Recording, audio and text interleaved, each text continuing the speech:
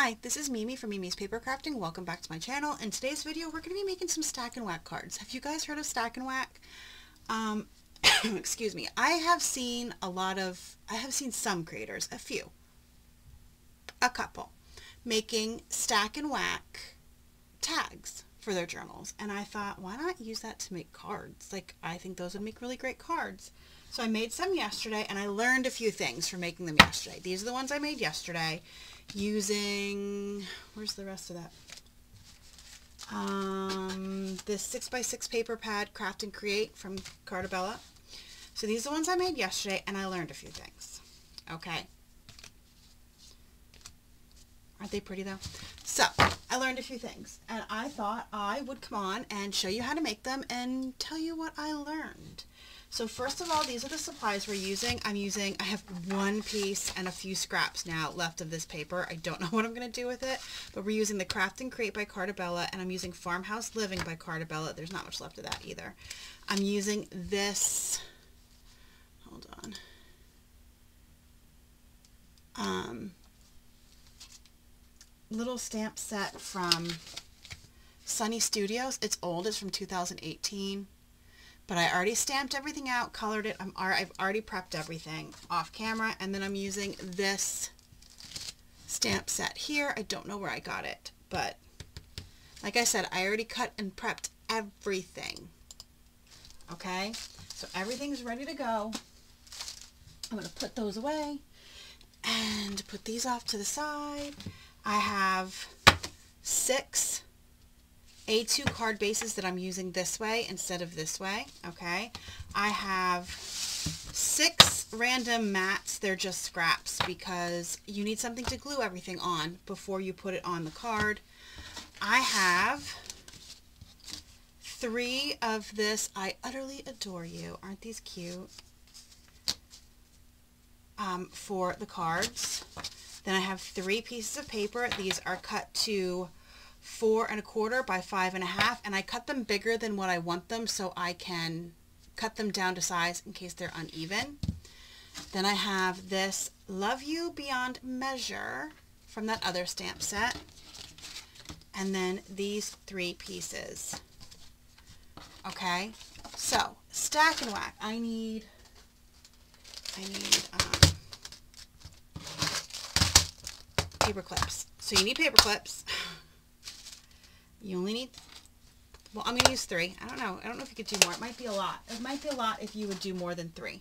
And what you do is you paper clip them together. So I'm going to, I think, use, leave the bottom a bigger piece. Make sure they're all going the correct way. All right. They're all bundled up tightly together and then I'm just going to clip these in three places.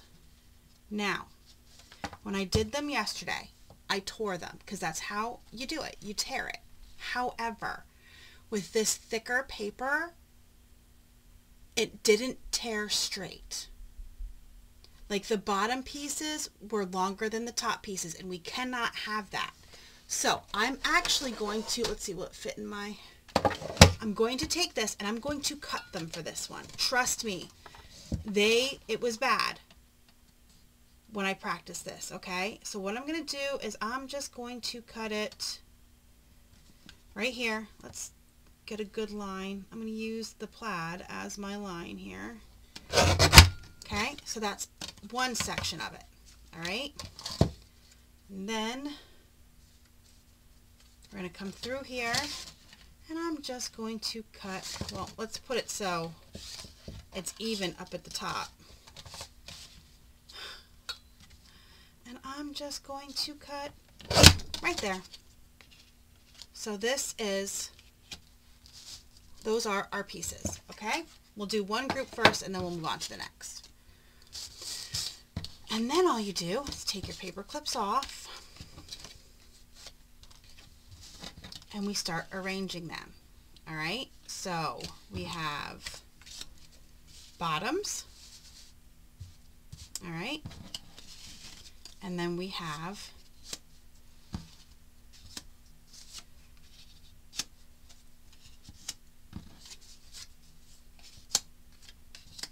those. There we go. And then you take um, three bases here and we just glue them on. All right. I'm just to push these up out of the way. We're to start, and let me grab my glue, sorry. Start on the bottom.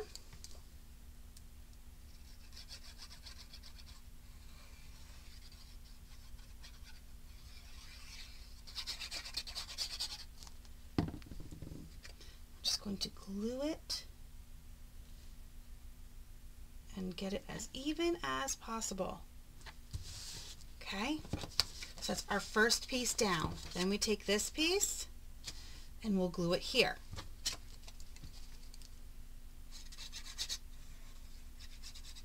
Like I said, normally everything I've seen, and also I believe from what I've seen, this is like a sewing, a quilting thing. I don't know. I don't quilt. Well, I do like simple rag quilts. That's all I'll do.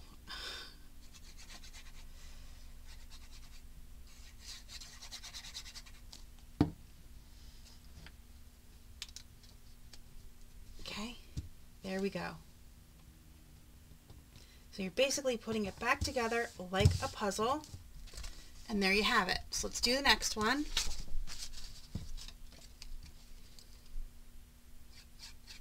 as you can see, so they had other paper in here, and I originally had chicken paper, but I have this cow. I was like, oh, I kind of want to use this cow.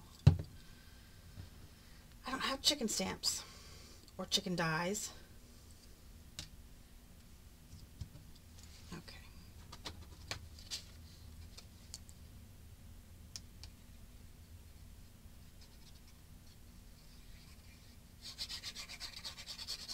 All right. I'm going to line it up at the bottom again. Start at the bottom. That's how I feel is the best way to do it. Starting at the bottom,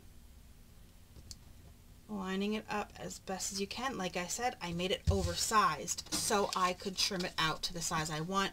My usual mats are four by five and a quarter for my cards. So I made it a quarter of an inch bigger just so I could um, trim them to the size I need.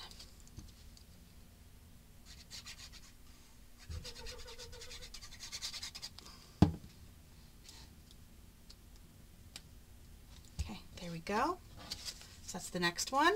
And last one for this set, and then we will trim them and get the sentiment on and on the card base.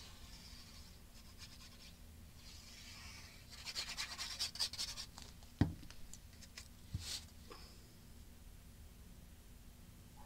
dog is up there barking. He's so far. I don't usually craft. Today's a Wednesday. Oh, and sorry if you hear that. That is my washer.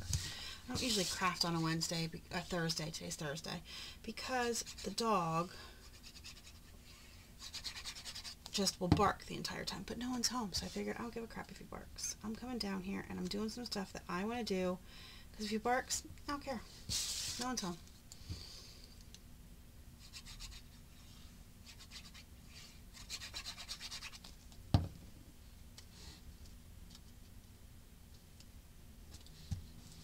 Okay, so I'm just going to take this and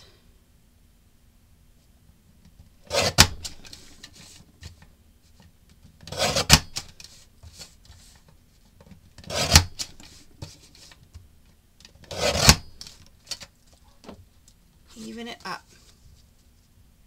See that? All right. So I'm just going to even up every one.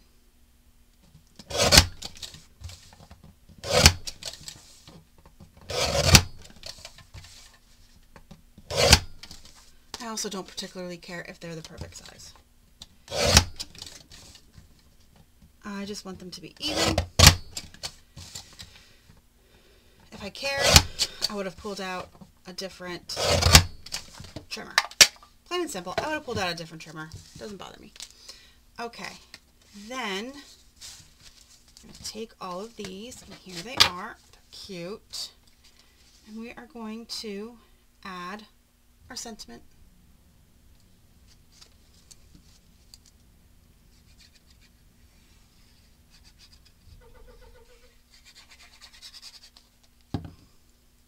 do it this side or this side?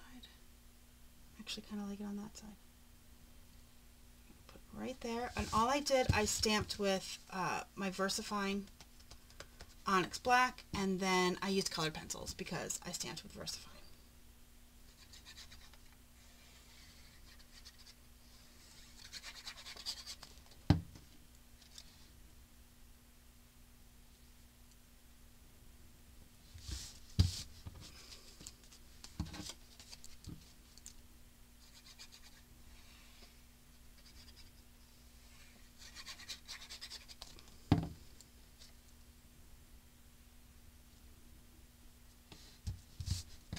Okay.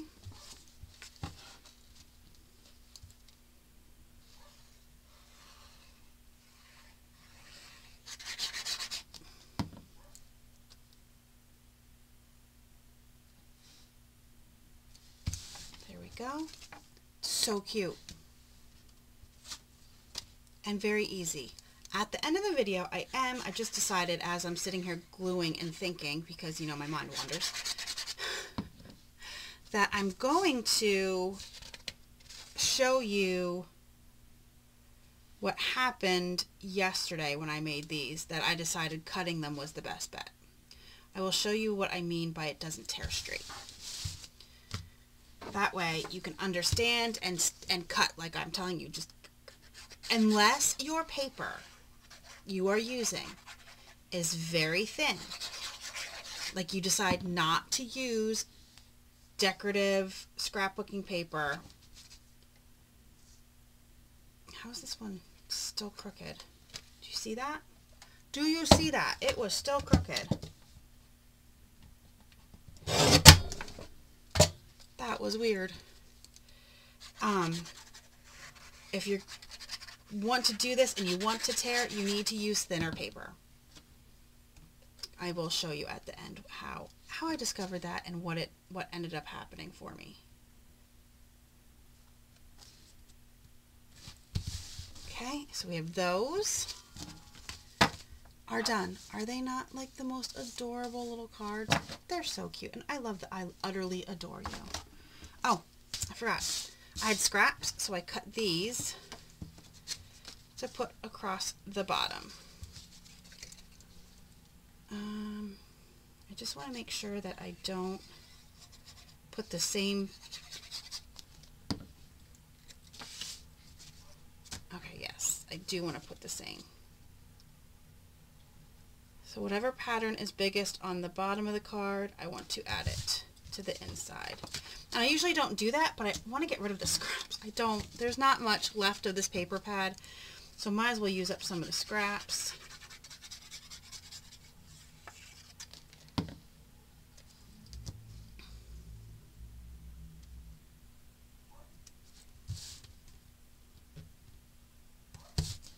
Okay. And last one.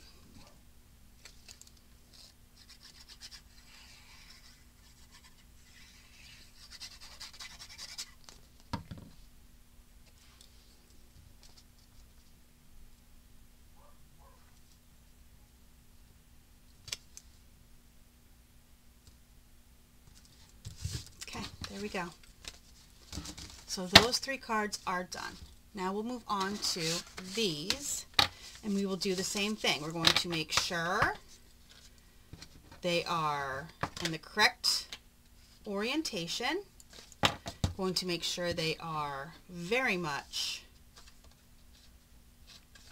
clipped together and as straight as can be.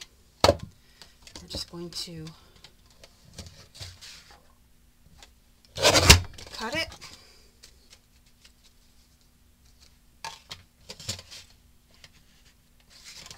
Once again, I did it again.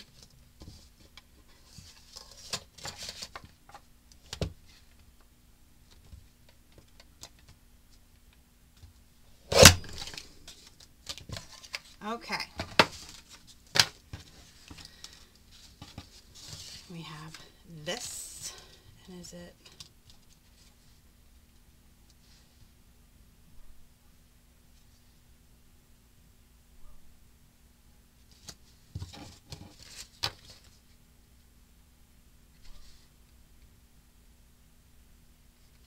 Do I have it upside down?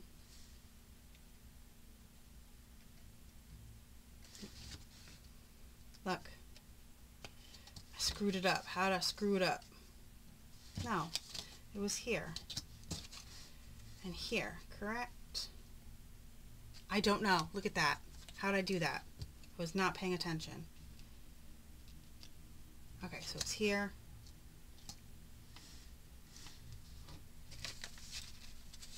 Well, that's because this is upside down. You couldn't just tell me that. There we go. There we go. How did I do that? I don't know. It's okay.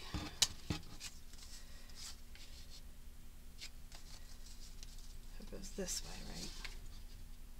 Yeah. So this one, this one, this one, and then this one, this one, and this one. Okay. How I got two of them upside, well, then maybe I technically I only got one upside down, and the other ones were the right side. Is that how that works? I don't know.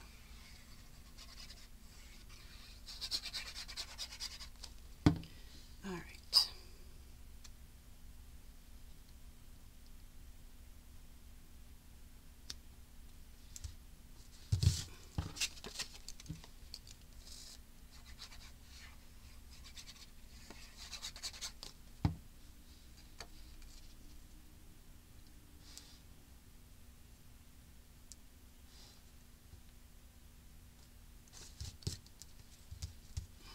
Okay, and last one on this one.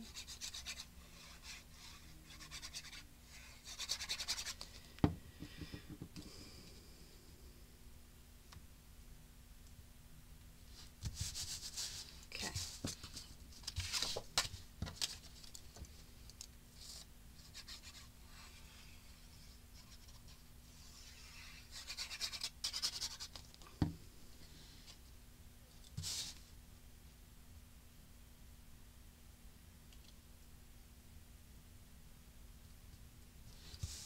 My child went out last night with his friends. They went to Dave and Buster's. And he came home and he brought what he won at Dave and Buster's. And he brought back a Teletubby um, stuffed animal. And um, because why why wouldn't he bring back a Teletubby stuffed animal? And I said, "Oh, what the heck is this?" I said, "Which one is this?" Because he, I mean, uh, he watched Teletubbies when he was little. I mean, he's that age. And um, I was like, "What is this?" And I forget what I called it. It was not the right name. And then he rattled off all the names of the Teletubbies. I'm like, I'm like, I really, really hope that you looked that up. and that's how you knew all the names of the Teletubbies.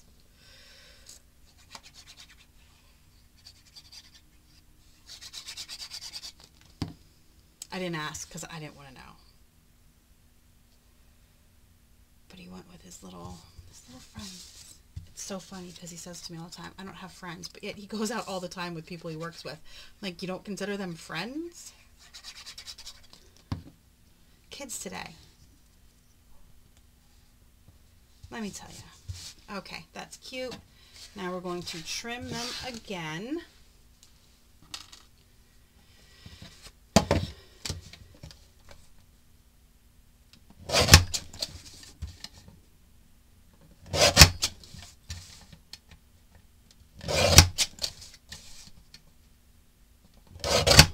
Okay.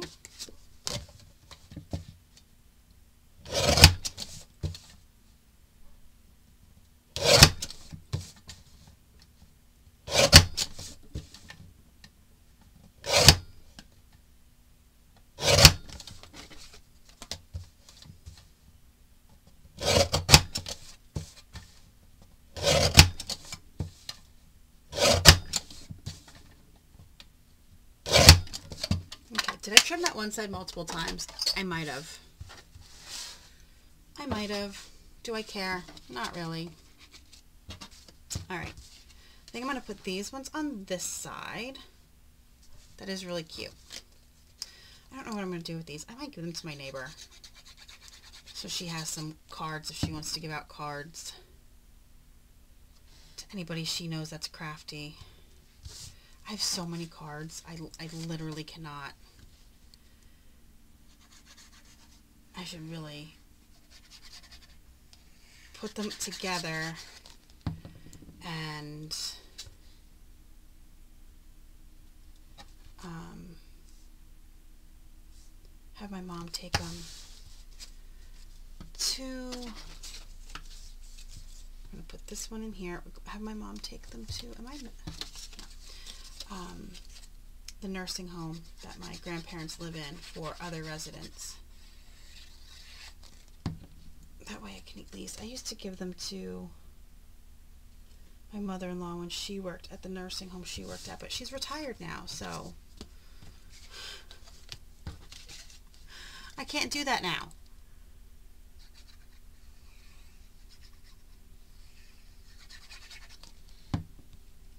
But these here I think my neighbor would enjoy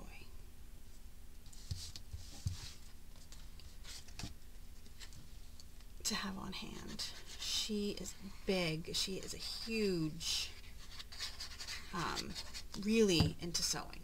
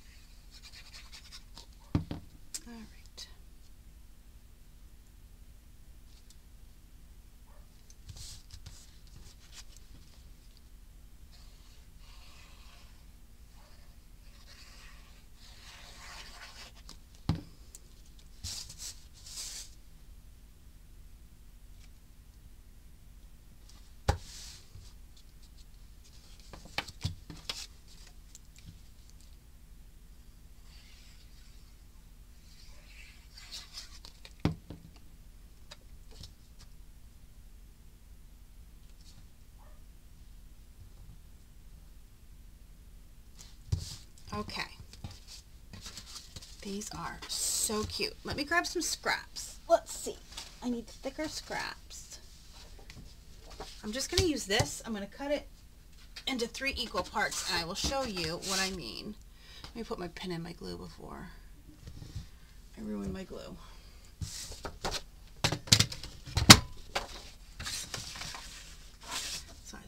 So we'll do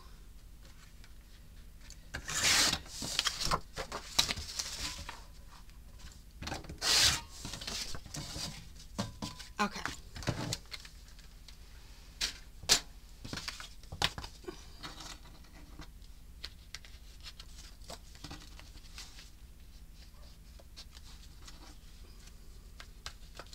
You have it in three sections. And what I did was I ripped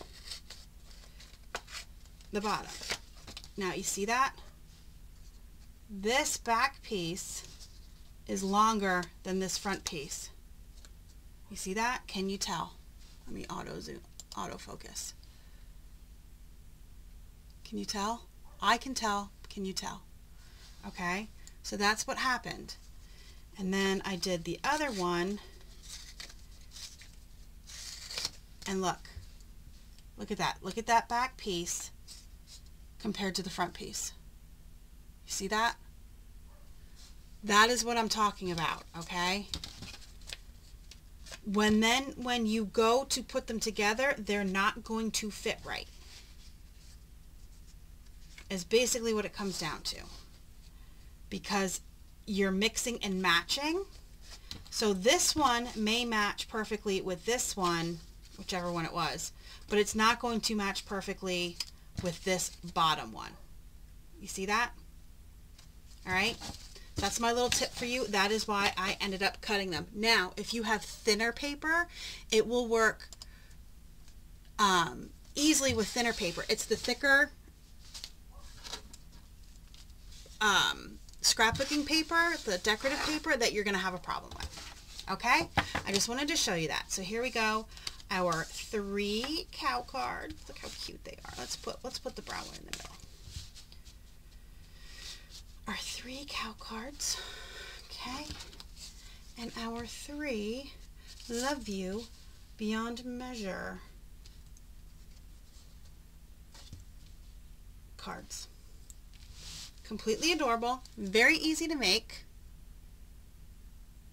They're just so cute. Let me know down below. Have you ever did a stack? Have you ever done a stack and whack, whether paper crafting or quilting? I need to know. I need to know how it works. I should look that up for quilting because I'm now I'm curious to know how that works.